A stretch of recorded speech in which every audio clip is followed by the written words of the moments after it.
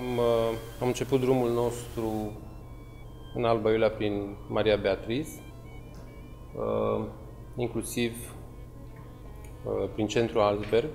Practic la 5 luni a fost diagnosticată cu paralizie cerebrală infantilă tetrapareză spastic diskinetică.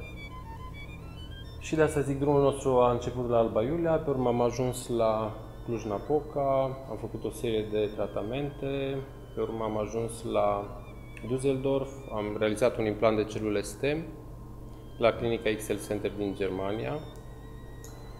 Am ajuns ulterior în Ucraina, la clinica internațională de la Truscaveț.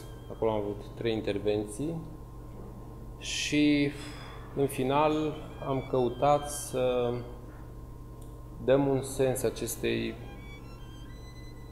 tragedii până la urmă din viața noastră ne-a fost foarte greu să depășim, uh, să înțelegem de ce s-a întâmplat. Pentru că este foarte greu să zici de ce mie. Ei, cu timpul, trăind, îți pui problema de ce nu și mie. Dar asta a fost motivul pentru care noi am creat Centrul Maria Beatriz, ca să ne putem explica de ce s-a născut Maria Beatriz așa. Astfel că am dat naștere Centrului Maria Beatriz, uh, nu pot să îmi pun problema dacă în acel moment am crezut că vom reuși sau nu vom reuși, pentru că nici nu mă interesa aspectul. Pe mine mă interesa uh, lupta în sine, adică să fac ceva. Aveam posibilitatea să mă plâng sau să fac ceva. Și am ales să fac ceva, lucru care uh, ne-a ținut foarte tari din punct de vedere psihic, ca să reziști la un astfel de copil. Deci mobilul n-a fost să creăm Centrul Maria Beatriz, mobilul a fost să facem ceva, ca să nu ne gândim la tragedia noastră. Am contactat uh, forurile, Consiliul Local, Primărie, Consiliul Județean, uh, vreau să zic că toate instituțiile, inclusiv ieri am fost întrebat uh, în cadrul interviului dacă instituțiile ne-au pus piedici, dacă ne-au trimis controle, dacă tot ce a fost vreodată existent în Alba Iulia ne-au ajutat. Deci eu am fost telefonat personal, sunt cu tare, șef de instituție acolo, vreau să te sprijin. Deci n-a fost o instituție în orașul ăsta. Nu pot să zic același lucru despre statul român, dar eu mă refer la comunitatea din Alba Iulia, care să nu ne fi acordat sprijin. Asta pentru noi a fost uh, o a reprezentat o forță și o motivare că practic suntem pe drumul cel bun. Uh, naivitatea a fost motorul dezvoltării noastre. Acum, știind ce înseamnă un astfel de centru, dacă ar exista un centru, uh, să știu că există un centru, mă duc cu fetița la centrul respectiv și eu nu mai deschid niciun centru, niciodată. Dar fiind în naivitatea mea, uh, am reușit să, să dezvolt acest centru. Practic am înființat o asociație non-guvernamentală în 2010, am ținut un spațiu de la Consiliul Local și Primăria Municipală Alba Iulia și în 2011, la 1 martie, am pornit centru cu un personal rezonabil, cu o dotare rezonabilă. Uh, Afecțiunile vizate sunt cele neuromotorii osteoarticulare și, în general, mergem pe cazurile grave și foarte grave, asemănătoare cu ale fetiței noastre. Activități de recuperare medicală, avem kinetoterapie, hidromecanomasaj, reflexoterapie, termoterapie, stimulare multisenzorială, psihoergoterapie și logopedie. Așa a rămas scris acolo de 3 ani, căutăm un logoped. Aici câteva imagini din centru, nu mai insist asupra lor în mod deosebit, deoarece ea este fetița Maria Beatriz. Este o fetiță în permanență veselă, uh, care s-a dezvoltat mult din punct de vedere intelectual, din punct de vedere motoriu mai puțin, deoarece, deoarece inclusiv coloana este afectată de la asfixia, substanța albă este afectată de la asfixia care a avut loc. Uh, Diferența dintre familia mea și o familie numită normală este de 3-4 minute. Adică acea cezariană, acea asfixie, cam cât durează. De asta, mulți, la un moment dat, um, umblam după 2% pentru sponsorizări și am intrat într-un birou și o doamnă destul de acră, pentru că trebuie să întâmpini și așa ceva, uh, mi-a spus, domnul, știu ce faceți acolo, dar noi nu avem nevoie de... M-am retras, dar în gândul meu am zis, bucurați-vă că nu aveți nevoie. Era ca un, era ca un reproș. Uh, vreau să mai fac o paranteză. Uh, vorbim de rampe, de acces fizic. Eu pe Beatrice n-am putut să o înscriu într-o grădiniță în Alba Iulia. Deci, am fost refuzată de grădinițele din Alba Iulia, deși eu în orașul ăsta, eu și soția mea și cei care ne-au ajutat, am făcut și facem foarte mult bine pentru mulți copii. Și a trebuit să intervin ca fetița mea să fie primită într-o grădiniță. Deci vorbim de un handicap social al, al societății care refuză astfel de copii. Beatrice nu face zgomot. Nu. Deci ea stă într-un cărucior din ala special și se bucură, tremură când vede căței și copii. Au primit-o cu condiția ca să o scoatem afară când e ora de engleză, că doamna învățătoare de engleză nu suporta prezența. Deci până la trotoare și rampe, eu zic că foarte mult este de lucrat la acceptarea acestor copii de către, de către oamenii mari, nu de către copii. Pentru că nu copiii de la grădiniță au avut o problemă. Toți veneau, se jucau cu ea, dădeau mâna, ăștia micuți la 3-4 ani, ce problemă. Părinților nu acceptau, au fost deranjați că vine Maria Beatrice în centru, parcă venea balaur. Și noroc că Maria Beatrice are o fizionomie drăguță, dar sunt copii în situațiile astea care nu au o fizionomie într totul agreabilă. Atunci ei ce să mai facă? Dar majoritatea este o persoană din uh, Buzău care s-a mutat în Alba Iulia ca să beneficieze de centrul Maria Beatrice. A stat 9 luni de zile și acum s-a mutat în Oradea pentru că nu a putut să jucă copilul la grădiniță. S-a mutat în Oradea și acolo a fost primită la grădiniță. Ei, uh, nu, mă depășește fenomenul. Aici, de exemplu, este Bogdanel din București, Idris din Alba Iulia, care, în colaborare cu Spitalul din Sibiu, cu doamna doctor Luca, unde făcea Voita și la noi recuperare Bobat, am reușit să o punem pe picioare. Ea vine la noi de 2 ani, 2 ani jumate. Un băiețel, nu mai știu sincer de unde este. Aici este un băiețel din Suceava, Sebi Crăciun, care face în jur la 4-5 metri. Am reușit să ajungem la 4-5 metri să umble singur, dar asta înseamnă că va ajunge undeva, bineînțeles cu pauze, să, să umble mai mult. Se face patrupedie cu preluarea greutății copilului, uh, din nou preluarea greutății copilului. Antonio, care merge la școală, pentru prima dată uh, a început uh, la Vila Elisabeta, am impresia, de trei ani a fost la noi, de chiar de la începuturi și acum merge la școală cu ghiozdan în spate. Spun asta pentru că de multe ori sunt întrebat când mă duc după o sponsorizare și ceva, dar copiii ăștia au vreo șansă? Adică cumva are rost să investez bani sau arunc banii pe fereastră? De fiecare dată, chiar dacă nu mă arăt, mă simt jignit. Uh, pentru că absolut fiecare copil din ăsta are o șansă. Are șansa să fie mai bine. Are șansa să-și ducă mânuța la guriță, să mănânce singur un biscuite, are șansa să nu apară contorsionările, să nu fie nevoit prin kinetoterapie, tratamente calde, să nu apară scurtările de ligamente și cimentările de, de uh, încheieturi, are șansa să scape de operație și de durere. Păi asta nu e șansă, faptul că îi dai șansa copilului să nu-l doară. Și unii dintre ei umblă sau uh, reușim să obținem o comunicare relativă. Aici este un băiețel cu afecțiuni de coloană,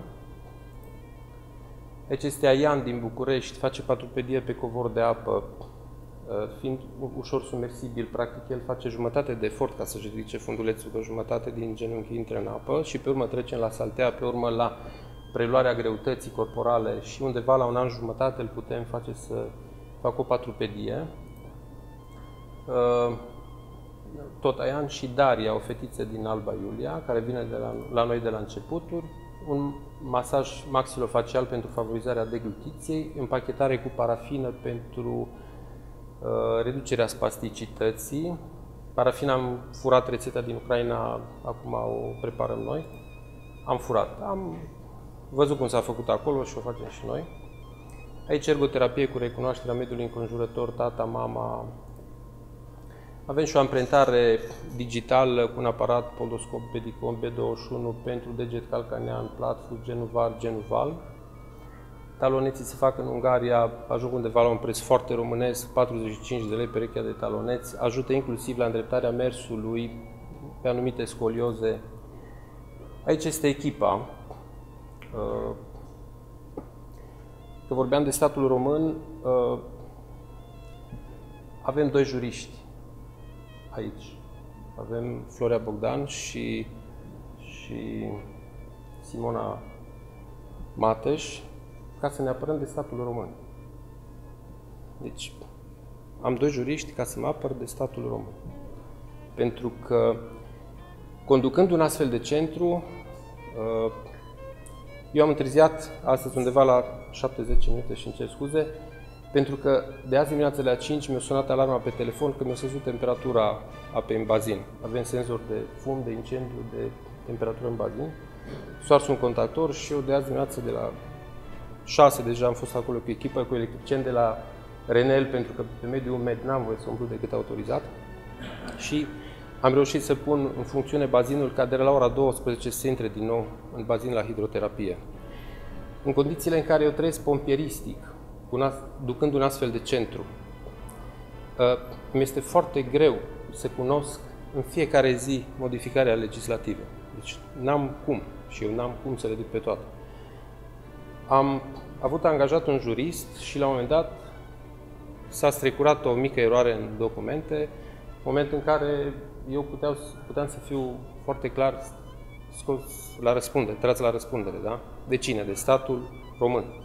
Eu fac un bine statului român prin faptul că am creat acest centru. Statul român oricând m-ar amenda pentru orice greșeală. Și de asta plătesc doi juriști, ca să mă apăr de statul român. Aș scrie asta pe pancardă. Ce faci, domnule Sebastian Onal? Mă apăr de statul român. Uh, Echipa este multivalentă, tânără și frumoasă. Dacă ar fi să o iau de la capăt, m-aș reorienta către oamenii peste 40 de ani. Și sunt convins că mulți angajatori se vor reorienta către oamenii peste 40 de ani. Uh, au fost foarte mult luați în brațe tinerii. Nu am nicio problemă cu tinerii. Și eu i-am luat în brațe. Am făcut aceeași greșeală ca și alți oameni. Dar cred că personalul tiner trebuie lăsat vreo 10 ani să se hotărască ce vrea să facă. Pentru mine, angajatul ideal, nici mă deranjează să-i zic angajat, i-aș spune colaborator, este persoana căsătorită cu un copil și cu datorie în bancă. Da. Pentru că se gândește de 5 ori înainte de a părăsi un serviciu. Uh, nu rar am avut ocazia ca în acest colectiv tânăr, durează în jur la 6-9 luni de zile să-l formezi. Au terminat facultatea, întotdeauna au, pus, uh, au făcut practică doar pe adulți, nu au făcut pe copii. De asta am făcut demersuri cât am putut eu și tot ce a ținut de mine, ca Universitatea 1 decembrie să-și deschidă secție de kinetoterapie și au deschis 50 de locuri secție de kinetoterapie. Practica se va face la noi, pe copii, pentru că vreau ca studentul ăla care vine la noi în practică să facă practică pe copii. Și nu poți. Au făcut, au făcut 3 ani de facultate, au făcut practică pe adulți și ai pus un copil în braț. Așa îl ține. Deci nu are nicio legătură cu copilul. Durează în jur la 6-9 luni de zile să poți să stabilești o relație între terapeut, copil și părinte, să-l faci terapeut până la urmă și pleacă într-o săptămână ca din aeroport. A plecat acum un băiat de la noi, merge în Germania la transport de banane. Nu e nicio glumă. Merge în Germania să transporte banane cu 600 de euro. În Germania cu 1000 de euro ești ultimul sărac. Dar o renunța la contract, o renunța la tot, cred că și la facultate și merge acolo. Deci eu acum mă lupt cu migrația în Germania. Dacă aș avea un om peste 40 de ani, cu un copil acasă, cu o datorie în bancă și căsătorit, ar fi mai greu să plece în Germania. Eu nu mă voi reorienta pe vârsta adultă. Uh, nu vreau să fiu răutăcios, este o realitate cu care mă confrunt zi de zi, pentru că, până la urmă, la o conferință trebuie spus și lucruri bune și, și lucruri, uh, hai să nu zic rele, dar mai, mai, puțin, mai puțin bune. Uh, la această dată avem 25 de locuri pe municipiul Alba Iulia. Am realizat și un parteneriat cu Sebeșul și avem 5 locuri pentru Sebeș. Am pornit cu gratuitate, am văzut că am greșit și acum fiecare părinte plătește o taxă de 150 de lei. De ce? Pentru că gratuitatea nu este respectată.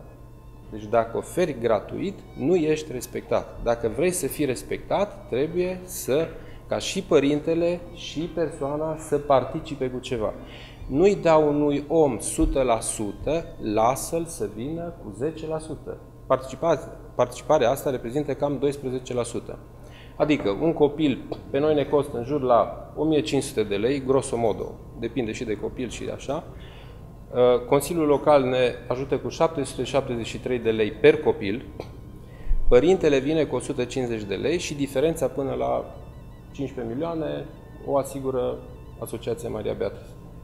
Deci Asociația Maria Beatrice a asigurat în jur la un miliard și ceva bani pentru cei 25 de copii anual, da?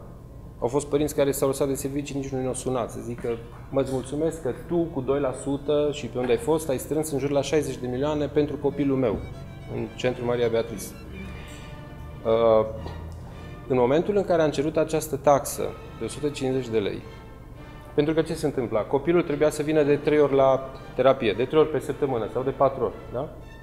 Ei, odată o durea burta pe mama, odată tata nou reparat roata la mașină și încă o dată nu știu ce. Și copilul în loc să vină de 3-4 ori pe săptămână, venea o dată pe săptămână de două ori. Normal că tratamentul e rupt și un an de zile nu faci nimic cu copilul ăla. Ei, când am introdus taxa de 150 de lei, se vedeți că nu mai lipsește nimeni. Nu mai doare burta, nu mai vine cu bicicleta, cu trot. De ce? Pentru că sunt banii lui. Da? Deci, și atunci, practic, prin această taxă de 150 de lei, am responsabilizat părintele pe banii lui și am adus copilul în terapie la centrul nostru. Nu zic că toți cei 25 de copii au acest comportament generalizat. Dar dacă 7 din 25 au acest comportament, eu zic că e o problemă deosebită. Am fost acuzat că am pus taxă. Acum nu poți să fii binele tuturor.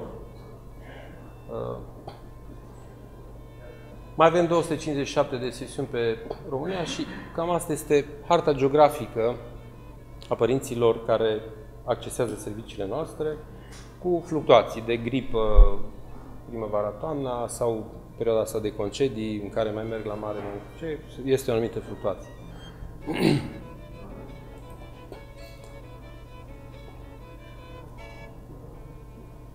Este un lucru, nu, eu nu vreau să-l comentez, poate fi interpretat în nu, mi nu mi-aparține, vine dinspre...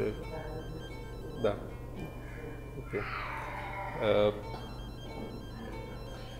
are, are foarte multe valențe, uh, inclusiv eu. Nu vedeam atâți, atâția, atâtea persoane cu dizabilități până n-am avut-o pe Maria Beatrice, dar mai are multe alte valențe.